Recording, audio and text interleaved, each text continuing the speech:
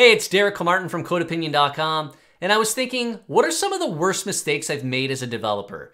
Now, some of these you might be able to relate to, or you might find them extremely odd that I think of them as mistakes, and if that's the case, they might provide you some insights. The first is believing too much on the internet. really, what I mean is that there's some concept that you're trying to start to understand. You're finding things on YouTube or the internet about that, you're reading blogs, and you get an understanding of what it is, but really, that mass understanding of why the wider community is in fact wrong. Because what starts to happen is as you dig deeper and really get to the roots of the concept, you realize that the vast majority of understanding is way off base. Martin Fowler calls this semantic diffusion, which is there's some term or concept that has a meaning, but as it kind of gains wider popularity, that meaning kind of dissolves or loses its kind of definition entirely. This meme illustrates this. Once you kind of see past this, you realize that you keep using that word, I don't think it means what you think it means. And I'm gonna give a practical example of CQRS and event sourcing and why that confusion was one of my biggest mistakes, which segues in perfectly to my sponsor, EventStoreDB. EventStoreDB is a new category of operational database built for event sourcing, CQRS, and event-driven microservices. For more on EventStoreDB, check out the link in the description. Probably still today, and it was like this 10 years ago at least for sure, is that if you were to search up something about CQRS, you're bound to find some type of explanation using this type of diagram. Where you have a client, and on one side you have a command and a command bus, and then command handlers. Then there's this domain model that's implying domain-driven design. Then you have events and your event sourcing. You're storing these events to an event store. And then those get published to some type of event bus. There's event handlers that de deal with that create some third party uh, read model, some type of projection. Then on the other side of CQRS, you have these queries with query handlers that are using that read model. This is kind of the prototypical example. I hope it's still not today, but I assume it is, and it, it was 10 plus years ago. This was what the coin term was when we were talking about uh, CQRS, which is incorrect. So yes, that diagram is showing CQRS, but it's also conflating it with a bunch of other things and implying it. And people would use the term CQRS to mean a bunch of other things in combination. It was illustrating potentially using domain-driven design or at least having a domain model. It was also kind of implying event sourcing, having a projection with a different read model, and it was conflating a bunch of different things. And that for sure was one of my biggest mistakes is not looking deeply enough about different concepts or patterns and just kind of, like I said, just believing the internet. Our industry is full of this, where concepts are kind of mutated, butchered from their original meaning, and they kind of lose it. But you really do kind of have to dig deeper and get kind of that foundational information about where something started and the reason why.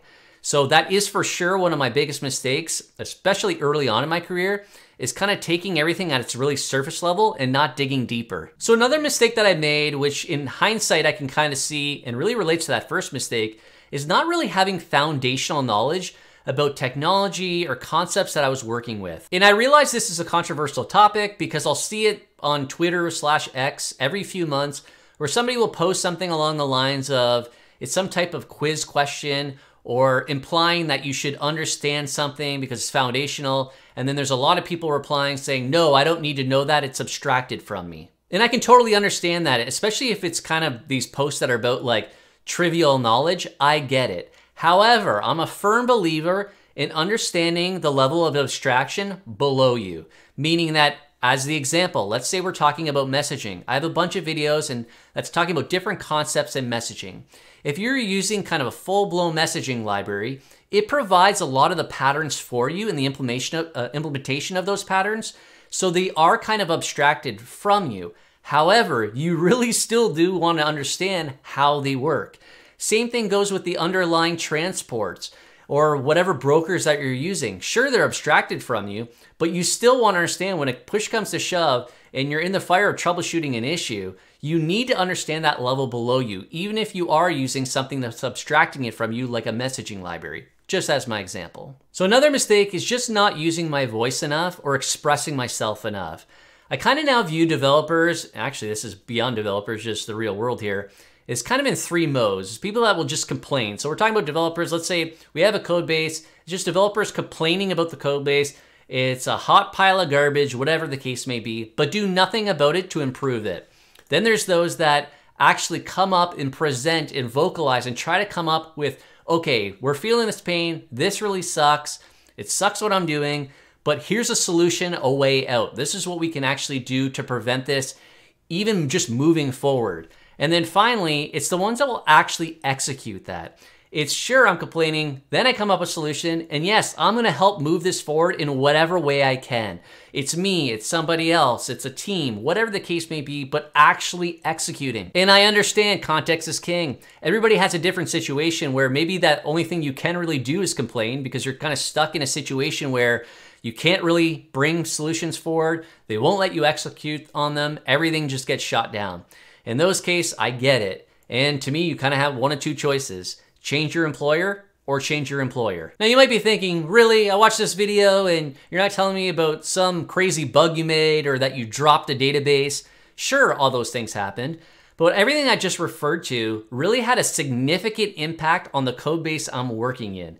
If you don't understand certain concepts and you're just following kind of the trend of what stuff is, you may be going down the completely wrong path because you don't really understand what you're doing.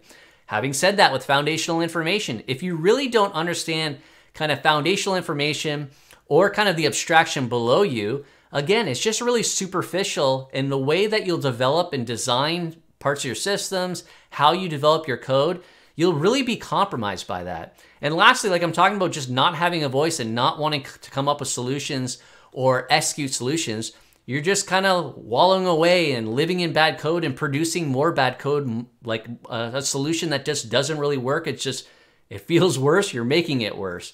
So to me, that's why the those really high level concepts, to me, I know had definitely an impact and growing upon them and improving on them really improved the code bases and the solutions that I'm working in. But of course, I've made some stupid technical mistakes like accidentally restarting the wrong server or something like that. It's all happened. If you enjoy the topics like this and you want to chat with other software developers, you can join my channel and get access to a private Discord server where you can ask questions, answer questions, talk about software architecture and design. Check the link in the description on how to join. If you found this video helpful, please give it a thumbs up. If you have any other comments, things that you think that are big mistakes that you've made or you've had big insights or aha moments on, let me know in the comments. And please subscribe for more videos on software architecture and design. Thanks.